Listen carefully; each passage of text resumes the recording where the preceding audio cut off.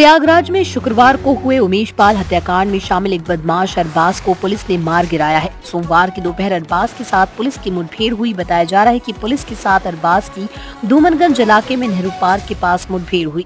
बताया जा रहा है कि उमेश पाल पर हमला करने के बाद अरबाज का चेहरा सीसीटीवी फुटेज में आया था।